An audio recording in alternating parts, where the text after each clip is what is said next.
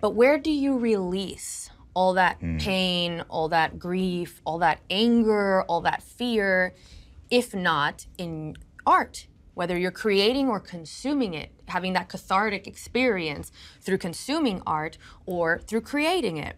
And so, if we're shrinking that realm, we're shrinking what's allowed in the realm of art, we're shrinking the human experience essentially because now all these other things have that are not allowed in polite society and your everyday expression, well, they're no longer allowed in the realm of art either.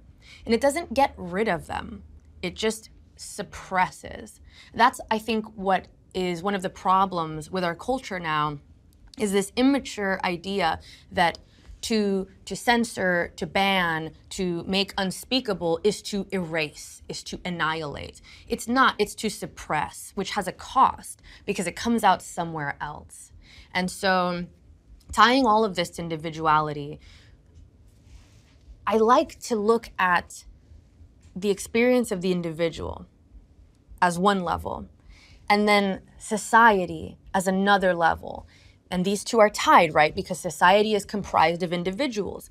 So if you have a society of repressed individuals, you are going to have a repressed society.